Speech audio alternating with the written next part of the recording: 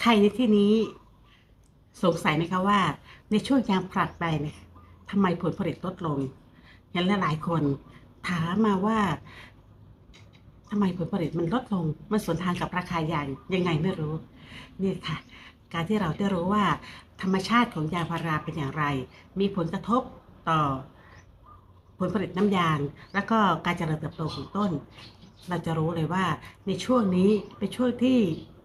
ใบยางนะคะ มีการสังเคราะห์แสงลดลงเพราะใบจะเปลี่ยนเป็นสีเหลือง สีน้ำตาลแดงแล้วก็ร่วงหล่นการสังเคราะห์แสงจะน้อยลง ก็เป็นนกลไกหนึ่งของต้นยางที่จะรักษาชีวิตเอาไว้ อาหารที่ได้จากการสังเคราะห์แสง ปกติจะถูกแบ่งไปทั้งการเจริญเติบโต แล้วก็ถูกแบ่งไปทั้งในการสร้างน้ำยาง ตอนนี้ต้นยางเขาจะห่วงแล้วค่ะเขาจะเก็บต้นเก็บอาหารไว้ เป็นอาหารสะสม เพื่อจะใช้ในการเจริญเติบโต ใช้ในการสร้างใบอ่อน ราะว่าใบร่วงแล้วก็จะต้องผลิใบใหม่ขึ้นมา ส่วนการใช้สร้างน้ำยางก็จะลดน้อยลงเป็นสัดส่วนที่น้อยลงทำให้ผลผลิตลดมีผลต่อคุณภาพด้วย อยากรู้แล้วใช่ไหมคะว่า มีผลกระทบอย่างไรบ้าง และระยะยาวจะเป็นอย่างไร ตามครูพิสมัยมานะคะ ครูพิสมัยสวนยาเอ็กซ์เพรสหรือก็คือดรพิสมัยจันทมา เป็นผู้เชี่ยวชาญทางด้านยางพารา มีประสบการณ์การทำงานกับหน่วยงานภาครัฐ มา 35 ปี ครูพิสมัยได้มีโอกาสนำเอาความรู้ไปแลกเปลี่ยนในเวทีนานาชาติระดับโลก แล้วก็ได้นำเอาความรู้ระดับโลกกลับมามาช่วยพี่น้องชาวสวนยางครูพิสมัยมีโอกาสไปคุกคลีการทำงานกับพี่น้องชาวสวนยาง ตามภูมิภาคต่างๆ ของประเทศไทยทั้งเหนือใต้ออกตก ครูพิสมัยไปมาหมดแล้ว และก็ได้นำเอาประสบการณ์ระดับโลกเนี่ยแหละค่ะที่ได้รับมามาช่วยแก้ปัญหาให้กับพี่น้องชาวสวนยางมากมาย ครูพิสมัยตั้งปณิธานไว้ว่า จะช่วยเหลือชาวสวนยางที่มีความรักและภาคภูมิใจในอาชีพการทำสวนยางได้มีความมั่งคั่งขึ้นค่ะ เรารักสิ่งไหนเราก็ต้องสร้างรายได้จากสิ่งนั้นใช่ไหมคะ โดยที่ครูพิสมัยจะนำเอาแนวทางการทำสวนยางแนวใหม่มาช่วยค่ะ การทำสวนยางแนวใหม่ก็คือ การนำเอาความรู้วิทยาการใหม่ ๆ ที่ได้จากการค้นคว้าวิจัยใหม่ ๆ มาช่วยต่อยอดจากงานเดิมที่เราทำอยู่แล้ว ให้ดียิ่งขึ้นเพื่อให้จับเงินล้านได้ เพื่อนๆว่าเกตดีไหมคะเพราะการทำสวนยางแนวใหม่ มีมีหัวใจหลักสามอย่างค่ะ ก็คือ อันแรกเพิ่มรายได้ อันที่สองลดค่าใช้จ่าย อันที่สามลดการใช้แรงงานในสวนยาง เห็นไหมคะ สุดยอดไหมคะ ใครเห็นด้วย ช่วยกดไลค์ กดแชร์ กดติดตามให้ครูพิสมัยด้วยนะคะ และช่วยแชร์คนละแชร์สองแชร์ ส่งต่อความรู้นี้ออกไปในโลกออนไลน์ค่ะ รู้ไหมคะว่าในโลกออนไลน์ อาจจะมีเพื่อนๆเราหลายๆคน ที่เขามีปัญหา แต่เขาไม่รู้ว่าจะหาวิธีการแก้ปัญหาอย่างไร แต่ถ้าเขาได้รับรู้ความรู้ที่เพื่อนๆแชร์ไปนะคะ และเขาไปสามารถไปเปลี่ยนแปลงไปปรับปรุงสวนยางเขาได้ทำให้เขามีรายได้เพิ่มขึ้น เพื่อนๆว่าดีไหมคะ สุดยอดไหมคะ การให้ความรู้เป็นบุญกุศลอันยิ่งใหญ่มากที่สุดนะคะเพราะฉะนั้นส่งแชร์ไปคนละแชร์สองแชร์นะคะ และขอเสียงชาวสวนยางเลยค่ะ ช่วยกดหนึ่งมารัวๆให้ครูพิสมัยด้วยนะคะ หัวข้อผลผลิตลด กรีดยางในช่วงฤดูยางผลัดไปทำแบบนี้ค่ะ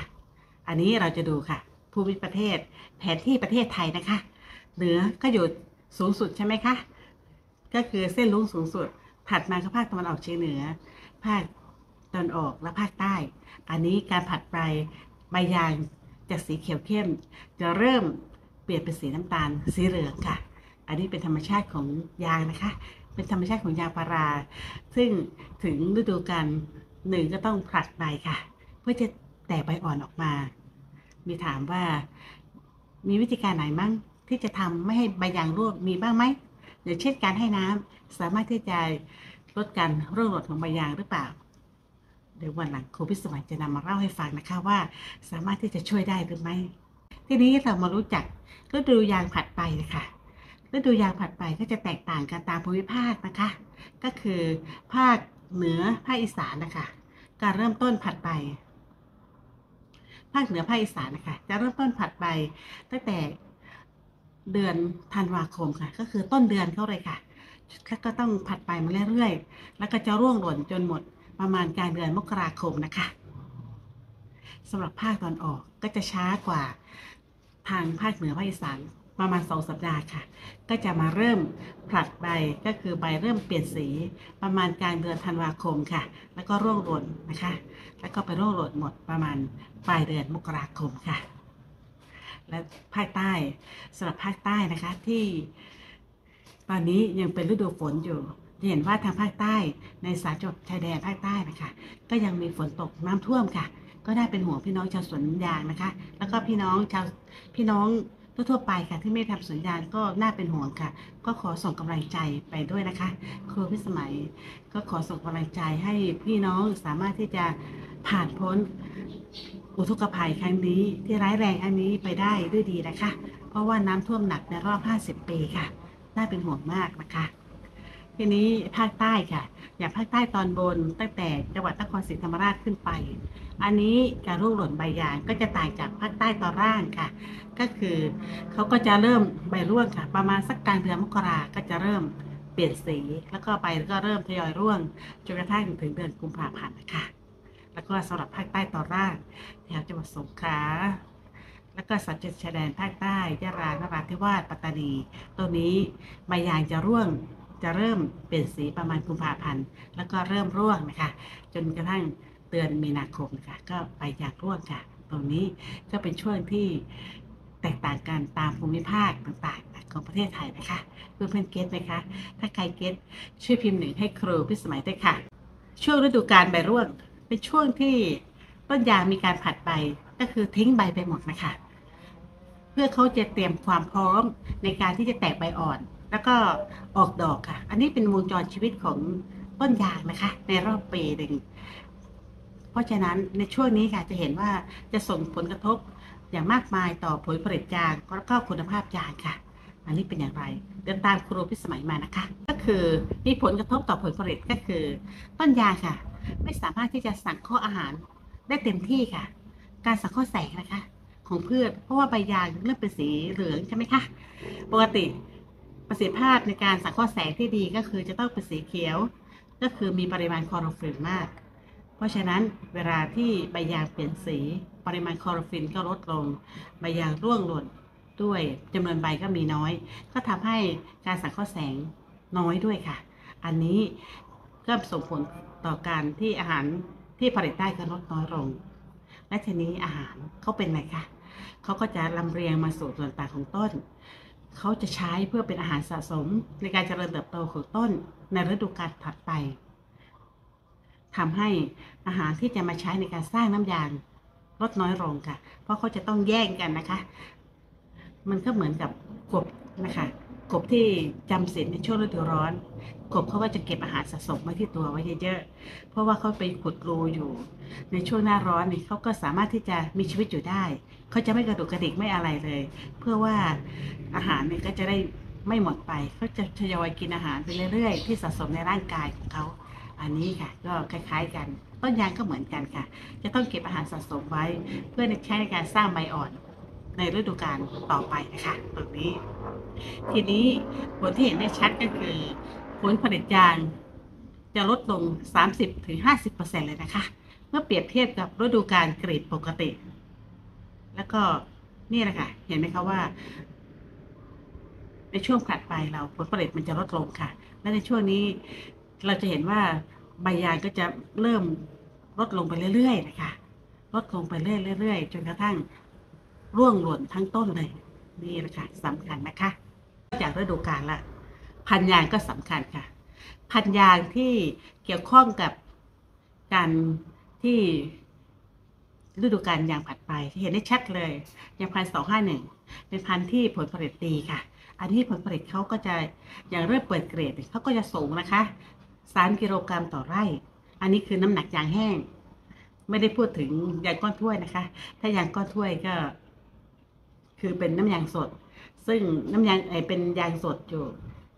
ก็ขึ้นอยู่กับน้ำอีกนะคะก็เลยเป็นการเปรียบเทียบกับปริมาณเนื้อยางแห้ง เพราะว่าถ้ามันแห้งจริง ๆ เราก็จะได้ไม่มีผลไม่มีเรื่องน้ำเข้ามาเกี่ยวข้องนะคะ อันนี้คือเนื้อยางแห้งนะคะ ก็คือพันสองห้าหนึ่งเป็นพันที่ให้ผลผลิตดี แล้วก็จะสูงขึ้นเรื่อยๆ จนกระทั่งช่วง ที่พีคนะคะ ที่ให้ผลผลิตสูงสุดเดือนกันยายนเดือนตุลาคม ช่วงนี้ผลผลิตจะขึ้นไปถึง 5 กิโลกรัมต่อไร่ต่อวันด้วยนะคะตัวนี้แล้วหลังจากนั้นก็จะลดลง โดยเฉพาะในช่วงที่ยางผลัดไปผลผลิตก็จะลดลงเร็วมาก เพราะพันธุ์นี้เป็นพันธุ์ที่ผลัดไปแบบไม่เทไม่ได้ทยอยผลัดนะคะเขาจะพรึบเลย เพราะฉะนั้นผลผลิตที่ได้มาดีๆ หายไปเลยค่ะ ตรงนี้ก็จะถึงจะเกรดไปทนเกรดไปก็ได้ผลผลิตน้อยมาก อาจจะอยู่ประมาณ 20-30%เองนะคะ ตรงนี้ ในขณะที่พันหกร้อยเป็นพันที่ให้ผลผลิต คือเขาจะมาเรื่อยๆ มาเรียงๆผลผลิตเขาก็เริ่มเปิดเกรดประมาณ 2 กิโลกรัมต่อไร่ต่อวัน แล้วพอช่วงตุลาก็อาจจะขึ้นไปถึง 3-4 กิโลกรัมต่อไร่ต่อวัน แต่ว่าเขาจะมีลักษณะดีหน่อย คือเขาจะทยอยกันผัดไปทำให้ผลผลิต ก็ยังได้อยู่ในช่วงที่ยางผัดไป คือเขาจะทยอยเขาจะไม่ผัดไปทีเดียวนะคะตรงนี้ อันนี้ก็คือความแตกต่างระหว่างพันยางนะคะ ก็เลยทำให้ว่าให้เห็นถึงความแตกต่างนะคะ ถ้าใครไปในเขตพื้นที่อย่างไปเป็นแถบนะคะ ทางไงแถวจังหวัดเลยนะคะที่เขาปลูกยางตามเขาตามอะไรเงี้ย เราจะเห็นเลยว่าแถบที่เป็นพันสองห้าหนึ่ง เหลืองไปหมดเลย ในขณะที่พันหกศูนย์เนี่ยก็ยังทยอยทยอยทยอยคือคือยังยังไม่เหลืองมากนะคะแล้วพออย่างรั่วเนี่ยข้างหนึ่งจะจะพรึบเลยในขณะที่พันหกร้อยยังทยอยร่วงนะคะ ตรงนี้อันนี้แหละคะก็คือเป็นข้อแตกต่างของพันยางด้วยนะคะ คุณภาพของยางเป็นอย่างไร ก็คือการเสริมข้อแสงลดลงทำให้การเคลื่อนย้ายอาหาร ที่อย่างเช่นพวกแป้งและน้ำตาลนะคะไปเก็บไว้ที่บริเวณลำต้นก็จะน้อยลงด้วยนี่แหละค่ะและเมื่อน้อยลง การที่ในต้นยางค่ะ ก็จะมีการแยกอาหาร ส่วนหนึ่งไปใช้การเจริญเติบโต ส่วนหนึ่งไปใช้เพื่อเพื่อสร้างน้ำยาง อันนี้ก็จะแข่งแย่งกันอย่างมากเลยค่ะทำให้ผลผลิตลดลงนะคะ คุณภาพยางจะลดลง โดยเฉพาะปริมาณเนื้อยางแห้ง ช่วงนี้เราจะเห็นว่า เนื้อยางจะน้อย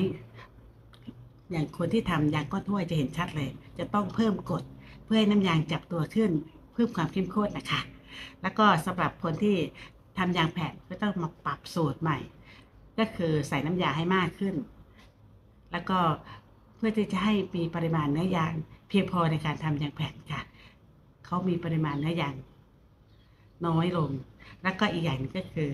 ปริมาณสารอื่นที่ไม่ใช่น้ำยางอย่างเช่นโปรตีนมีสูงนะคะ โปรตีนมีสูง แล้วก็ต้นเอ่อนอกจากนั้นคืออย่างก้อนถ้วยค่ะที่ได้ ก็จะมีสีค้ำแล้วบางทีก็เกิดกลิ่นเหม็นด้วยค่ะ นี่แหละค่ะเป็นผลจากการที่มีสารอื่นที่ไม่ใช่ที่ไม่ใช่เนื้อยางอยู่ในยางนะคะเพื่อน get ไหมคะใคร get พิมพ์ให้ครูพิศมัยด้วยนะคะ อันนี้เป็นเพียงข้อมูลบางส่วนนะคะ ที่ครูพิศมัยมาให้ เห็นว่าสุดยอดไหมคะคุณเป็นคนโชคดีมากนะคะที่เข้ามาในคอร์สนี้ เข้ามาในไลน์นี้ เพราะว่าวันนี้ครูพิศมัยมีคอร์สเทคนิคขั้นเทพการทำยางก้อนถ้วยให้ได้ผลผลิตและก็ให้รายได้เพิ่มขึ้นนะคะ ตัวนี้เป็นคอร์สที่ครูพิศมัยตั้งใจมากเลย ที่จะมาช่วยพี่น้องชาวสวนยาง ให้พัฒนาทำอย่างไรเราถึงจะมีรายได้จากการทำยางก้อนถ้วยให้ดีขึ้นเพื่อนๆนะคะ เพราะว่าในคอร์สนี้ครูพิศมัยจะมาเล่าฟังว่า มีแต่หัวข้อพรีเมียมที่ครูพิศมัยจะเอามาเล่าให้ฟังค่ะ จะมาสอนเรานะคะ หัวข้อของคอร์สนี้ก็คือ อันแรกก็คือ mindset ค่ะ การที่จะทำอะไรให้สำเร็จ เราจะต้องปรับ mindset ของเราก่อน mindset อย่างไรที่คนที่เป็นเศรษฐีเขาทำอย่างเช่น จะสังเกตนะคะว่าคนที่ทำนะคะเขาจะต้องเป็นคนที่ศึกษาเรียนรู้ แล้วก็นำเอาความรู้ไปพัฒนา สวนยางเพื่อจะให้รายได้เพิ่ม อันนี้ค่ะสำคัญทำอย่างไรเราจะมีรายได้เพิ่ม และรายได้เพิ่มนี้จะต้องยั่งยืนด้วยนะคะ ไม่ใช่รายได้เพิ่มไม่กี่วัน และหลังจากนั้นก็ไม่มีรายได้ อันนี้สำคัญค่ะ อันที่สองก็คือ เทคนิคการทำยางก้อนถ้วยคุณภาพดี แล้วให้ผลผลิตเพิ่มขึ้น มาเรียนรู้กับครูพิศมัยนะคะ ครูพิศมัยมีเทคนิคที่จะมาสอนพวกเราค่ะด้านที่ 3 ก็คือ การตรวจเช็ค ว่ากรดไหนใช่กรดฟอร์มิกอันไหนไม่ใช่เราจะไม่ใช้ค่ะกรดไหนที่ไม่ใช่ฟอร์มิกเลย ต่อไปเราจะใช้แต่ฟอร์มิกเพราะว่าบริษัทยักษ์ใหญ่อย่างเช่นยางรถรถยนต์ก็บอกมาแล้วนะคะว่า คุณภาพของยางก้อนถ้วยที่เกิดจากกรดฟอร์มิกดีเยี่ยม อันอื่นเขาไม่เอาเลย ต่อไปใครที่ไปใช้กฎอื่น อาจจะขายยางได้ราคาต่ำหรือว่าเขาไม่รับซื้อเลยนะคะ ตรงนี้ แล้วก็อันที่สี่ก็คือ การทำอย่างไรให้ ยางไม่มีกลิ่นเหม็นนะคะ อันนี้ครูพิสมัยก็จะมาสอนนะคะ แล้วก็ไม่มีปัญหากับสิ่งแวดล้อม รวมทั้งสุขอนามัย สุขภาพของคนปฏิบัติงานด้วยค่ะ แล้วก็การใช้การทำยาก้อถ้วยเนี่ยจะไม่เป็นอันตรายกับต้นยางค่ะ ตรงนี้สุดยอดเลยค่ะ และที่นอกจากนั้นก็คือการตลาดค่ะทำการตลาดอย่างไร ส่วนใหญ่เราผลิตยางมาได้ แต่เราไปตายตอนจบก็คือไปไปขายยาง เขาให้ราคาเท่าไหร่เราก็ต้องรับเท่านั้นนี่แหละค่ะถ้าเรามาเรียนรู้เรื่องการตลาด เราจะมีภูมิคุ้มกัน เราจะสามารถที่ไปต่อรองกับพ่อค้าได้ เราสามารถที่จะหาตลาดที่จะทำให้รับซื้อยางเราราคาดีขึ้นค่ะ และเราก็จะมีรายได้เพิ่มขึ้น สุดยอดนะคะตรงนี้คอร์สเทคนิคขั้นเทพการทำยางก้อนถ้วยให้ได้รายได้เพิ่ม อันนี้เป็นคอร์สที่ ราคาเต็มอยู่ที่ 9,900 บาทค่ะ แต่ อย่าเพิ่งตกใจค่ะสำหรับคนที่เข้ามาในไลฟ์นี้ คุณเป็นคนโชคดีมาก เพราะครูพิสมัยจะให้ราคาอยู่ที่ 2,900 บาท เป็นราคาที่ย่อมเยาวนะคะ แต่ว่าอัดแน่นไปด้วยคุณภาพค่ะคอนี้เหมาะสำหรับคนที่ตั้งใจค่ะ หาความรู้อยากจะหาความรู้ไปพัฒนาไปเปลี่ยนแปลง คือเข้าใจว่าการที่เราทำสวนยาแบบเดิมๆเราก็ได้รับผลลัพธ์แบบเดิมๆ แต่ว่าถ้าเรามาเปลี่ยนแปลงทำสวนยางแนวใหม่ ตามแบบครูพิสมัย ก็จะได้รายได้เพิ่มค่ะ คอร์สนี้ไม่เหมาะสมสำหรับคนที่ไม่คิดจะเปลี่ยนแปลงอะไร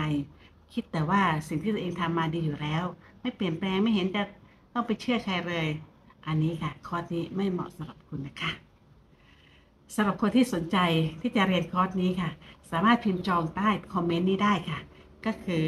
พิมพ์ใต้คอมเมนต์ว่าจองจองหรือจะ inbox มาหาครูพิศมัยก็ได้นะคะ ตรงนี้และเราก็จะมาเรียนรู้ด้วยกัน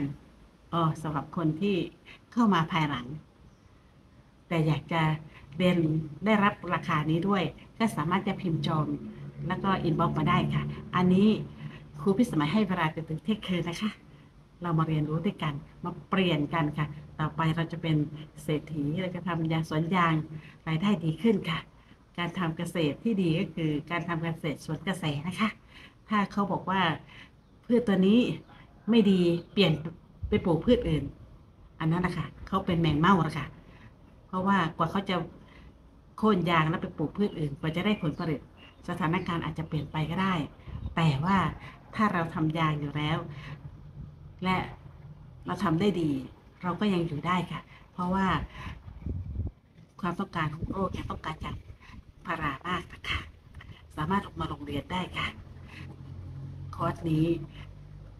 ราคาไม่แพงหรอกค่ะ ถ้าเทียบกับความรู้ที่จะได้รับและรายได้ที่เราจะได้ แค่เราขายยาไม่กี่ครั้ง เราก็ได้ทุนคืนแล้วค่ะจากนั้นคือกำไรที่เราจะมีรายได้ตลอดชีวิตของวงจรของยางพารานะคะ ความรู้ไม่แพง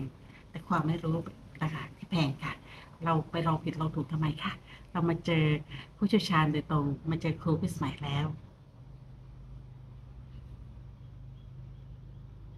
คิดถึงสวนยางแนวใหม่ คิดถึงครูพิสมัยสวนยางเอ็กซ์เพรสค่ะ